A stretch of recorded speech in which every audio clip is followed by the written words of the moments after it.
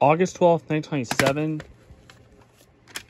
Full arm from Main Street Variety Video in St. Antoine, New Brunswick. And this tape is a little damaged at the beginning, which I'm going to show you for proof right about now.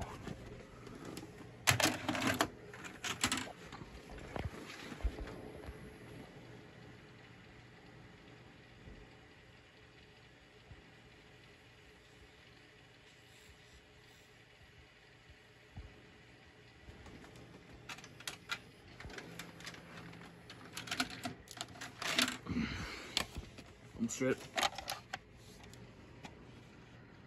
Yeah, there's some areas have, there's a little cut right there. You can barely see it.